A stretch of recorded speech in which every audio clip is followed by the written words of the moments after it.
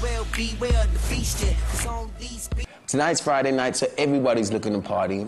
Um, Ish is probably gonna come over here. We're gonna meet up over here. We're gonna chill. And as soon as he as soon as he gets here, I'm gonna you know we're gonna discuss where we're going tonight. We're probably gonna be hitting.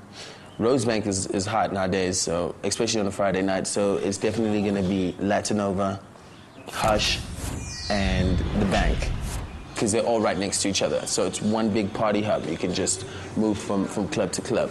So that's where we're probably gonna go tonight.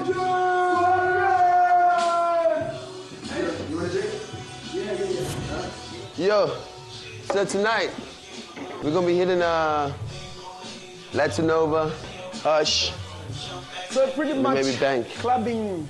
yeah. You know the city never sleeps. It's the wildlife. like Titanic, I'm flying jock. Get to the spot. First spot, Latinova. Latinova's cool, you know. I always like to start off at Latinova first, especially on a Friday. Candy store to make the ladies scream. Oh, the candy store. A candy store. A candy. Yo, so all the Goonies step up, right? Oh, I'm talking all the Goonies, Glitz Gang, right? Sean Page, Morel, Tito, Muggs, and Sean Cash. Yo, they step up in the building, and yo, I'm definitely feeling hype. Still trouble, and they double down. Now that the Goonies is here, then I know, yo, we in the building. It's, a, it's, a, it's an official shutdown. But of course, the man of the moment also walks in the building. That's my man Tebow Touch. And that's the whole reason why we're at Hush and celebrating. So Tebow Touch is there eventually. He's nice, he's in a suit. It's a good celebration for him. We celebrating the fact that he's on the three to six.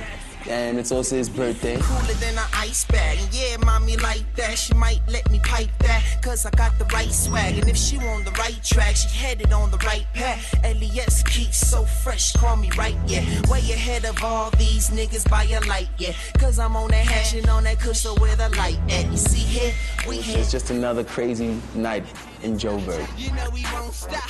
Cause the. And that's exactly how Jozi goes out. You know, that's how we roll in this wildlife.